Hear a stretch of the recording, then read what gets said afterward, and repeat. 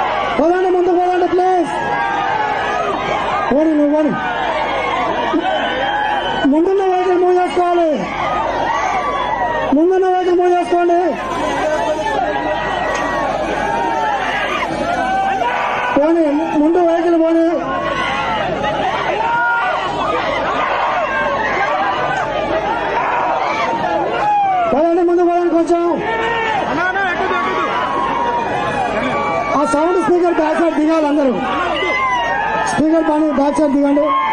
నీళ్ళలో మీతో ఉండి. సైడ్ కొంచెం జరగండి రోడ్డు బాగాలేదు కొంచెం దాడవండి రోడ్డు బాగాలేదు కొంచెం అటు ఇటు వెహికల్ ఇబ్బంది ఉంటుంది జరగండి. ఇబ్బంది ఉంటుంది కొంచెం జరగండి.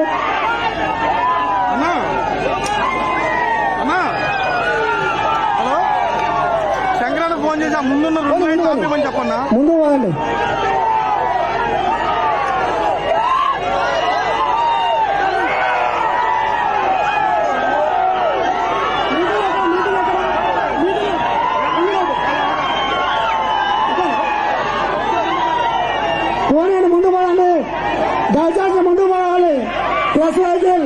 కొంచెం మూవ్ చేసుకో. కొంచెం మూవ్ చేసుకోండి ప్రస్తుతం కూడా మూవ్ చేసుకోండి. దయచేసి కొంచెం మూవ్ చేసుకోండి. మీటింగ్ సెంటర్ ఉంటుంది ఉంటది.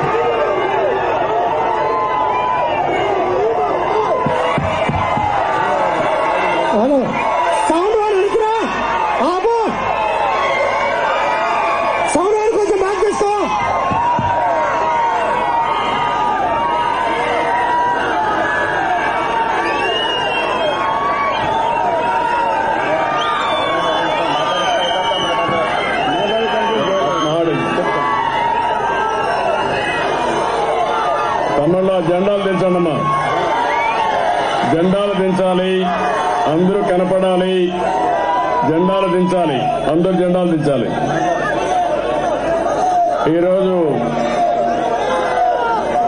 నేను ముంపు గ్రామాల్లో వరద బాధితుల్ని పరామర్శించడానికి వచ్చినప్పుడు బాగా ఆలస్యం కూడా అయింది. డే టైమే రావాలని అన్ని విధాల ప్రయత్నం చేశాను. కానీ నేను అమరావతి నుంచి రావడం దారంతా కూడా నేను ఎంత ఫోర్స్ చేసినా వీలు కాకుండా పోవడం వేలూరుపాడులో బాగా టైం వాళ్ళు కూడా తీసుకోవడం. అందుకే కుక్కనూరుకు వచ్చినప్పుడు కొంచెం ఆలస్యం అయింది. అయినా కూడా మీరు ఇంత పెద్ద ఎత్తున మీ కష్టాలన్నీ కూడా అధిగమించి దిగమింగి నాకు స్వాగతం పలికారంటే దీనికి మనస్ఫూర్తిగా అందరికీ అభినందనలు ధన్యవాదాలు. ఏవైతే వరదలు పదో తారీఖున సిడబ్ల్యూసి మనకు నోటీస్ ఇచ్చారు. వరదలు తీవ్రంగా ఉంటాయని చెప్పి ఇచ్చారు. గోదావరి తెలిసిన మనందరికీ ఎప్పుడు కూడా చాలా అప్రమత్తంగా ఉంటాం. పదైదు వందల కిలోమీటర్లు నాసిక్ నుంచి ప్రారంభం అవుతుంది. ఎప్పటికప్పుడు డేంజర్ జోన్స్ అన్ని నోటిఫై చేస్తారు. కానీ ఈ ముఖ్యమంత్రి మాత్రం తాడేపల్లి ప్యాలెస్లో పడుకొని నిద్రపోతున్నాడు.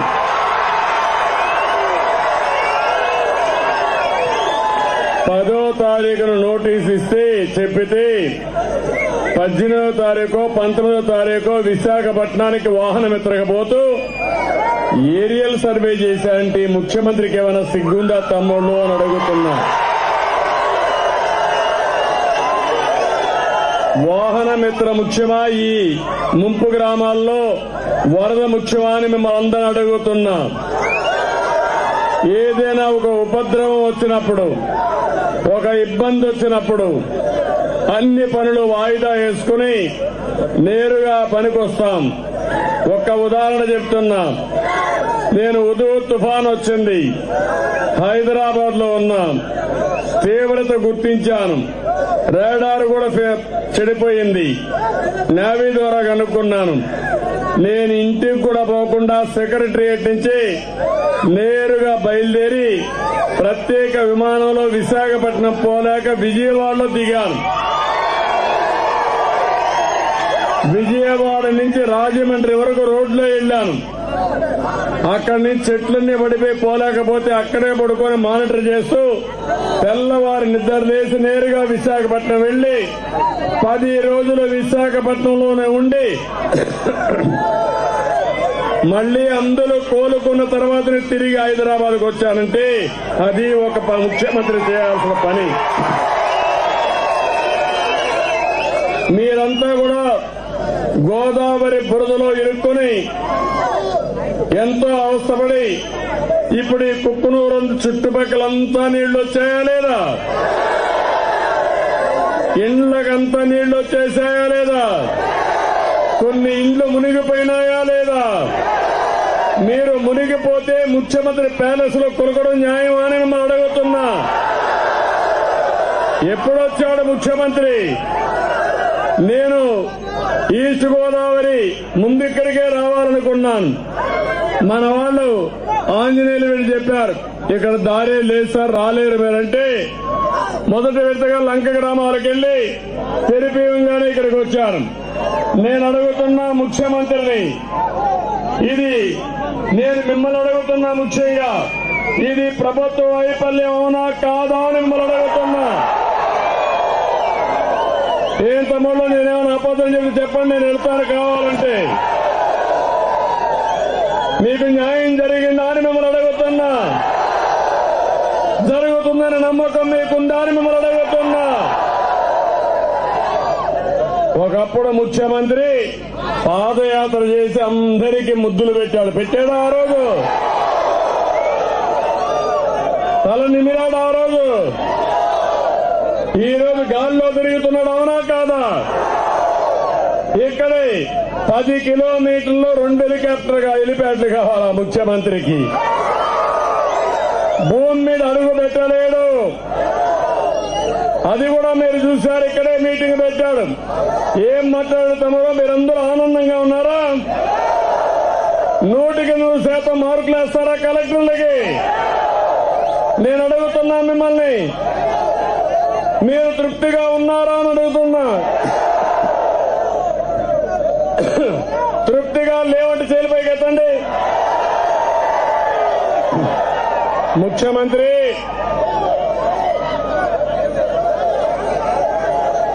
ఏదైతే పరదాలు కట్టుకొని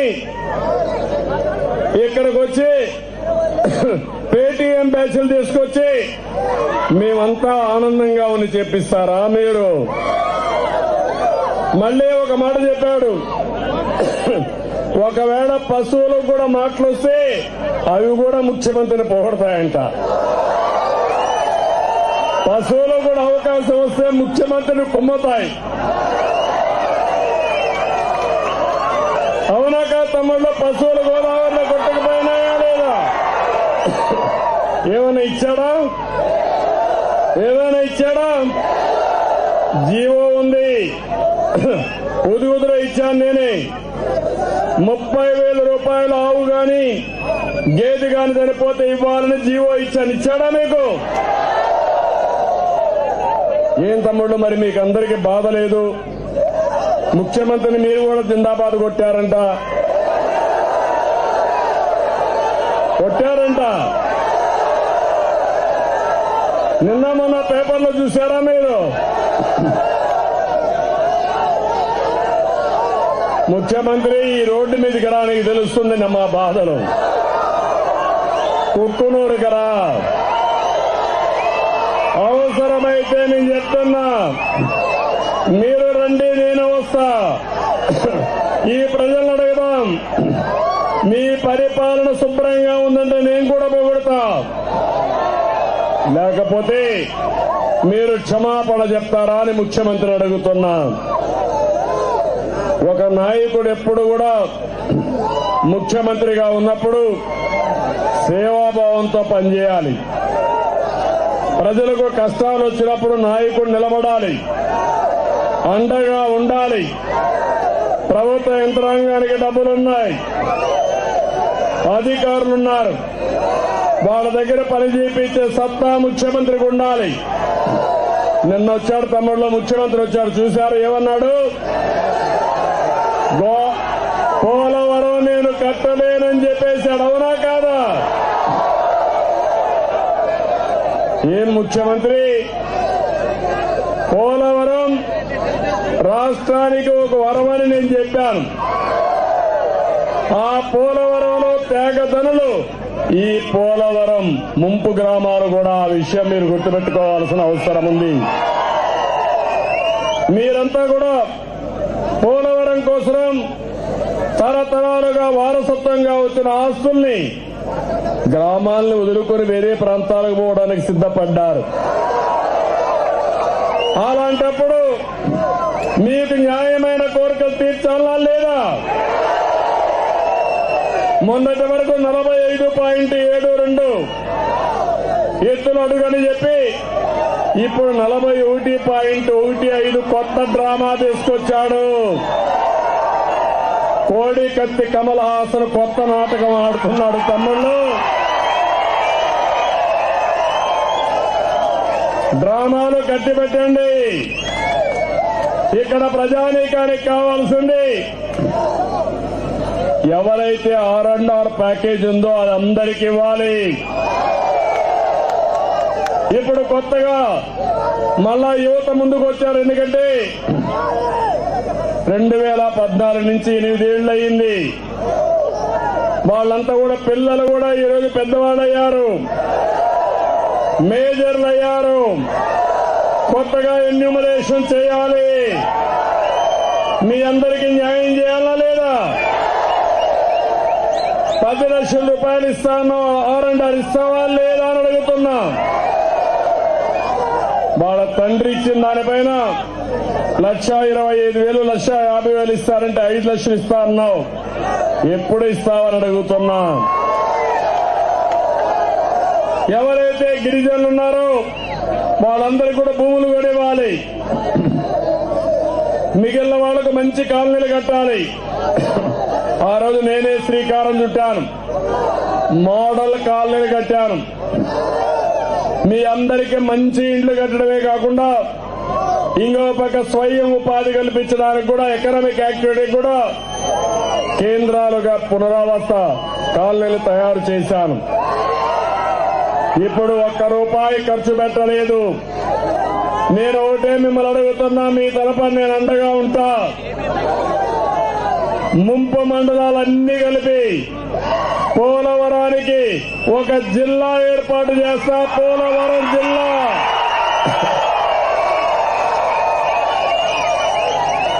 మీరు ముంపు గ్రామాలన్నీ త్యాగం చేస్తున్నారు.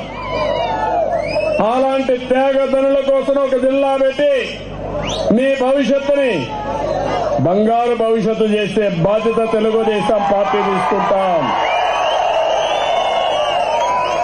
ఇన్ని కష్టాల్లో మీరున్నారు.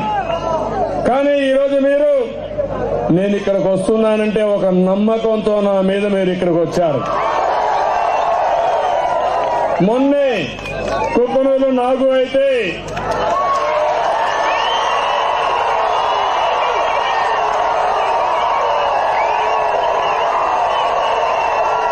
ఏదైతే పోలవరం ఈ ప్రాంతం అంతా కూడా గోదావరి ముంపొస్తే ముప్పై ఐదు ట్రాక్టర్లు పెట్టి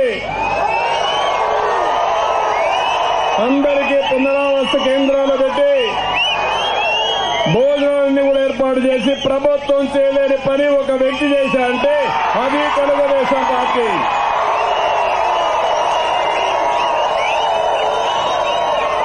ముఖ్యమంత్రి ఇలాంటి వాళ్ళు చూసి నేర్చుకోండి సేవాభావం. ప్రజలు కష్టాల్లో ఉన్నప్పుడు నాయకుడు ప్యాలెస్లో ఉంటే నాయకుడు కాలేడు వినాయకుడు అవుతాడు. గుర్తుపెట్టుకోవాలి ఇది. నీకు అధికారం ఇచ్చింది మా కళ్ళ నీళ్ళు తుడవడానికి అవునా కాదా? కళ్ళ నీళ్ళు తెప్పించడానికి కాదు.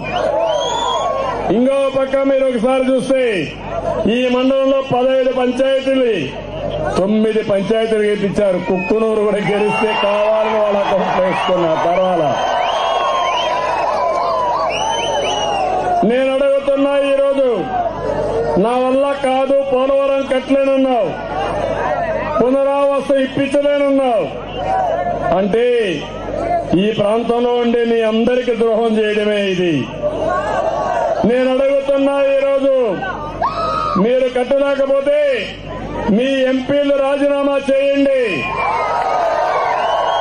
చెప్పారు కదా ఆ రోజు నాకు ఇరవై ఐదు గెలిపిస్తే కేంద్రం మెడలు వస్తానని చెప్పారా లేదా అని మిమ్మల్ని అడుగుతున్నా. ఇప్పుడు నేను అడుగుతానే ఉంటా. కాగితాలు ఇస్తానే ఉంటా. ఈ నంగి నంగి మాట్లాడు తమ్ముళ్ళు ధైర్యం ఉంటే మీ ఇరవై రెండు మంది ఎంపీలు రాజీనామా చేయండి. ఆరండారు ఎందుకు రాదో నేను చూస్తాను. ధైర్యం ఉందా అని ముఖ్యమంత్రికి సవాలు విసురుతున్నా. మీరేమంటారు రాజీనామా చేయాలా లేదా? చేయాలన్నాడు గట్టిగా చెప్పండి కూడా చెప్పండి. ముఖ్యమంత్రి పరదాల చాటును తిరగడం మాను. ప్రజల్లోకి రావడం నేర్చుకో. ఏదో అపోజిషన్ పార్టీ పార్టీల పైన బురజల్లితేనో తప్పుడు కేసులు పెడితేనో భయపడతాం అనుకుంటున్నాం కానీ కబద్దార్ జాగ్రత్తగా ఉండు. వీలైతే నాలుగు మంచి పనులు చేయగాని ప్రతిపక్షాల పైన కక్ష తీర్చుకుంటే ఎవరైనా భయపడతారు కానీ తాటాపు చెప్పట్లో ఒక కుందేళ్ళు భయపడవు తమ్ముళ్ళు. ఆ విషయం గుర్తుపెట్టుకోవాలి ముఖ్యమంత్రి. చాలా మంది ముఖ్యమంత్రులు చూస్తా నేను చరిత్రలో. అందరికంటే ఎక్కువ ముఖ్యమంత్రి నేనే ఉన్నా. కానీ ముఖ్యమంత్రి పదవి శాశ్వతం కాదు మనం ఏం చేశామో అదే శాశ్వతం. డెబ్బై రెండు శాతం పోలవరం పూర్తి చేసి మీ అందరికీ న్యాయం చేయాలని నేను ఆలోచిస్తే అన్ని కార్యక్రమాలు సుజావుగా జరిగితే ఏ రోజు కూడా మీరందరూ ఒక మాట వ్యతిరేకంగా మాట్లాడకుండా పూర్తిగా సహకరించారంటే అది మీకు ప్రభుత్వం పైన నా పైన ఆ నమ్మకం. ఈ రోజు ఈ ముఖ్యమంత్రి పోలవరాన్ని నాశనం చేసి ప్రతి సంవత్సరం మిమ్మల్ని అందరినీ వరదలో ముంచి బురదలో కూరకపోయే పరిస్థితి వస్తే మాత్రం తెలుగుదేశం పార్టీ ఎట్టి పరిస్థితుల్లో ఆమోదించదు సహకరించదు. మీరు చూడండి అమరావతికి అండగా ఉన్న రైతాంగాన్ని మొత్తం నట్టేటం చేశాడు విధ్వంసం చేశాడు రాష్ట్ర ఆస్తిని నాశనం చేశాడు. పోలవరం ఇక్కడ ఉండే రైతాంగానికి సరి అయిన భోజనం కూడా పెట్టలేదంటే వరద బాధితులు ఆదుకోలేదంటే త్యాగం చేసిన మీకు న్యాయం చేయలేదంటే ఎలాంటి ముఖ్యమంత్రో మీరే ఆలోచించండి. విశాఖ ఉక్కు ఆంధ్రల హక్కు అని పోరాడి ప్రాణాలు త్యాగం చేస్తే దాన్ని ప్రైవేట్ చేస్తా ఉంటే ఒక్క మాట మాట్లాడలేని ముఖ్యమంత్రి ఈ రాష్ట్రానికి అవసరమా తమ్ముళ్ళు అని మిమ్మల్ని అడుగుతున్నా. ఇలాంటివి చాలా విషయాలున్నాయి. నేను ఎప్పుడు కూడా ఒక విషయం మీరు గుర్తుపెట్టుకోండి. ఈ పేద ప్రజలంతా కూడా ఆనందంగా ఉండాలి. జీవితాల్లో అభివృద్ధి జరగాలి. సమిక్షేమం ఇవ్వాలి. ప్రతి కుటుంబం ఆనందంగా ఉండి భవిష్యత్తు బంగారు భవిష్యత్తు కావాలని నేను కోరుకున్నాను. దూరదృష్టితో ఆలోచించి ప్రణాళికలు తయారు చేశాను ఒక అమరావతి కావచ్చు ఒక పోలవరం కావచ్చు ఒక ఇండస్ట్రీ కావచ్చు ఆ రోజు హైదరాబాద్ ఏ విధంగా అభివృద్ధి చేశానో ఆంధ్రప్రదేశ్ రాష్ట్రానికి కూడా అదే విధంగా చేయాలని ఒక ప్రణాళిక తయారు చేశాను. అందులో అనేక సార్లు చెప్పాను. ఏదైనా ఒక ప్రాజెక్టు వచ్చినప్పుడు ఆ ప్రాజెక్టు వల్ల లాభం పొందే వాళ్ళు ఎంత ఆనందంగా ఉంటారో ఆ ప్రాజెక్టు వల్ల ఆస్తులు పోగొట్టుకున్న వాళ్ళు కూడా అంతే ఆనందంగా పెట్టడం ప్రభుత్వం యొక్క బాధ్యత. హైదరాబాద్ ఎయిర్పోర్ట్ కట్టాం. ఉదారంగా వాళ్ళందరికీ డబ్బులు ఇచ్చాను. నష్టపరిహారం ఇచ్చాను. ఆ డబ్బుల్ని పక్కన కొనుక్కోమన్న భూములు కొనుక్కోమన్న కొనుక్కున్నారు. ఇప్పుడు వాళ్ళు బాగుపడ్డారు. విమానాశ్రయం వచ్చింది. హైదరాబాద్ నగరానికి ఒక మణిహారంగా తయారయ్యే పరిస్థితి వచ్చింది. అది అభివృద్ధి అంటే. మీ పొట్ట కొట్టడం అభివృద్ధి కాదు. మీకు అన్యాయం చేయడం అభివృద్ధి కాదు. లేకపోతే ఆర్ అండ్ ఆర్ నేను ఇవ్వలేని చేతులు తీయడం అభివృద్ధి కాదు. అందుకే నేను మిమ్మల్ని కోరుతున్నా ఈ ముఖ్యమంత్రి కొత్తగా మీకేమీ వరద సహాయం చేయక్కర్లా. రెండు వేల పద్నాలుగు నేను ఇచ్చిన జీవో యాజ్ ఇట్ ఈజ్ అమలు చేసి అందులో ఇరవై ఏడు ఐటమ్స్ ఉన్నాయి తమ్ముళ్ళు. ఆ ఇరవై ఏడు ఐటమ్స్ అన్ని అమలు చేస్తే ఇల్లెక్కడన్నా పడిపోతే ఆ ఇంటికి యాభై వేలు ఆర్థిక సహాయం చేసి అప్పట్లోనే రెండు లక్షల యాభై వేలతో ఇళ్ళు కట్టించమని చాలా స్పష్టంగా ఆదేశాలు ఇచ్చాను అలాంటివన్నీ దాంట్లో ఉన్నాయి. ఎవరైనా మత్స్యకారులైతే యాభై కేజీలు ఇచ్చాను మూడు కేజీలు నేను ఆ రోజు టమోటా ఇస్తే మూడు కేజీలు ఉల్లిపాయలు ఇస్తే ఈయన ఇచ్చిన తమ్ముళ్ళు నాలుగు పొటాటో నాలుగు ఉల్లిపాయలు నాలుగు టమోటా. అవునా కాదా? రెండు వేల రూపాయలు నష్టపరిహారం ఒకరుంటే వెయ్యి రూపాయలు. అవన్నీ ఇచ్చారా? దానికి ముఖ్యమంత్రిని మీరు పొగడాలంట. గొప్ప త్యాగం చేశాడు ముఖ్యమంత్రి మీ కుటుంబాలకి. అది కాదు అభివృద్ధి అంటే సహాయం అంటే. నేను ఉదూదులో ఆదుకున్నా. మొన్న కూడా నాలుగు ఎమ్మెల్యేలు తెలుగుదేశం పార్టీ విశాఖపట్నంలో గెలిచారంటే ఆ రోజు నేను చేసిన సేవకి గుర్తింపు అని మరొకసారి మీకు తెలియజేస్తున్నా. ఇప్పుడు మీరు ఆలోచించాలి. ఇలాంటి దుర్మార్గమైన పార్టీని దుర్మార్గమైన ముఖ్యమంత్రిని బుద్ధి చెప్పాలా లేదా అని మిమ్మల్ని అడుగుతున్నా. పదే పదే ముఖ్యమంత్రి మాట్లాడుతున్నాడు విశ్వసనీయతని. మీరే చెప్పారు కొన్ని విషయాల్లో. మీరే పది లక్షల రూపాయలు ఆరంటారు ఇస్తాన్నారా లేదా? ఐదు లక్షలు ఇస్తాన్నారా లేదా ప్యాకేజీ? ఎవరైనా కానీ మాట తప్పితే గడ్డి పెట్టమని ఈ ముఖ్యమంత్రి చెప్పాడు. ఇప్పుడు ఈ ముఖ్యమంత్రికి గడ్డి పెట్టాలని అవసరం ఉందా? లేదా తమ్ముళ్ళు అని మిమ్మల్ని అడుగుతున్నా. అందుకే అడుగుతున్న మాటలు చెప్పడం కాదు. చేష్టల్లో చేసి చూపిస్తేనే నాయకుడు అవుతావు ముఖ్యమంత్రి.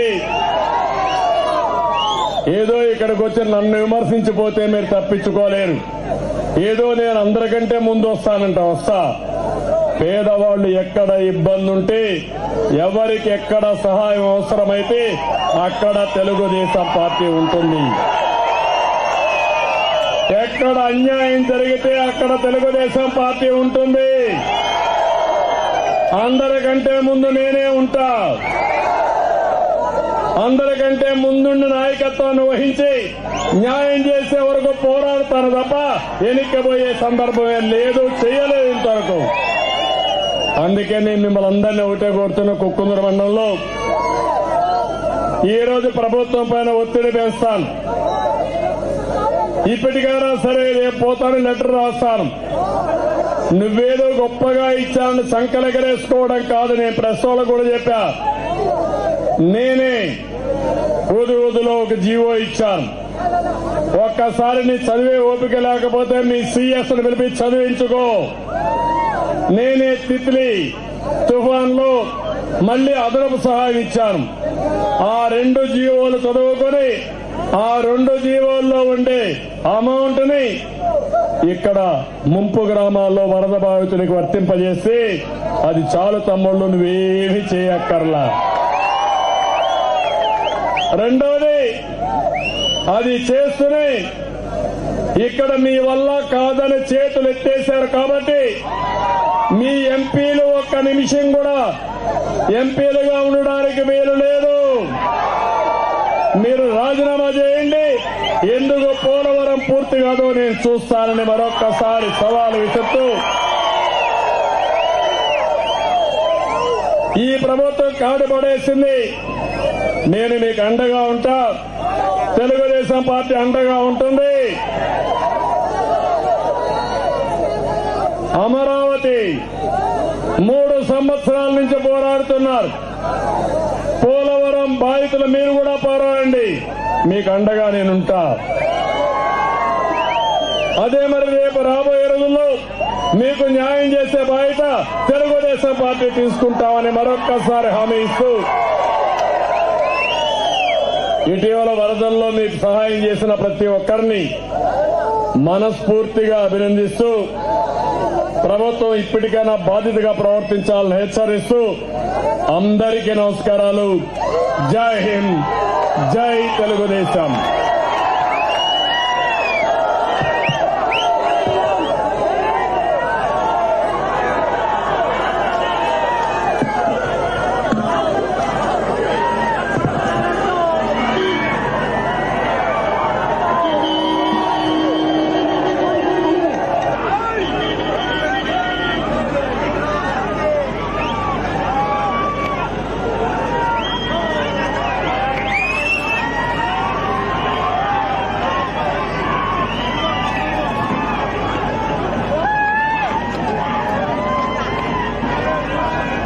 అమ్మ దిగేయండి అమ్మా ఇది ఇక్కడ ఆగదు ప్లీజ్ ప్లీజ్ దిగేయండి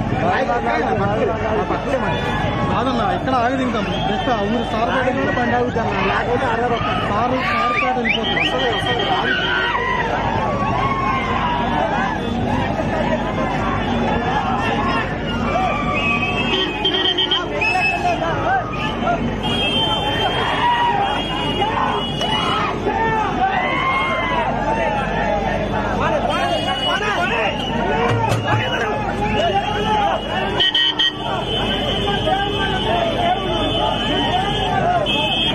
హలో సౌండ్ రాని ముందున్న వెహికల్ కొంచెం భాష మూవ్ చేసుకోండి ప్లీజ్ మూవ్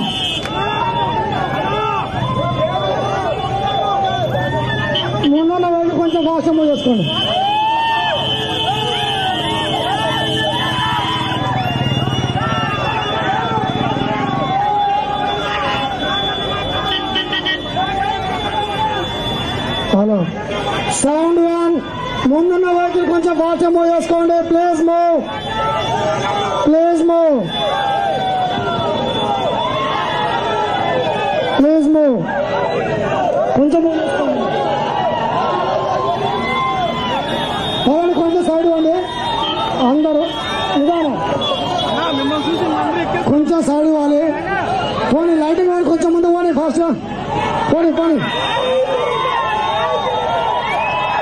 సెవెన్ వన్ ముందున్న వెహికల్స్ కొంచెం మూవ్ చేసుకోండి.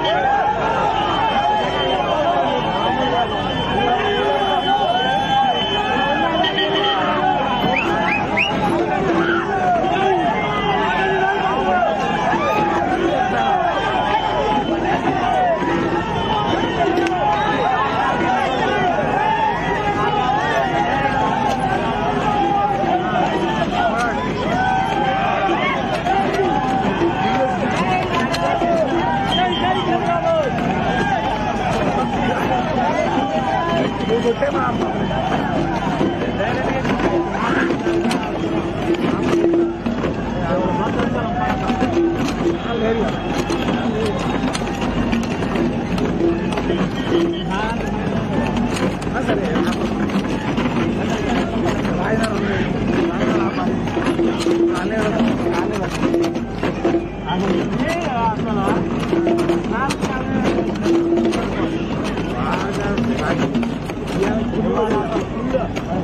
తగ్గిపోయింది తెలుసా? మీ గురించి వీళ్ళ పాపం రాజు రాజేసి ఆడుండండి ఆడుండు.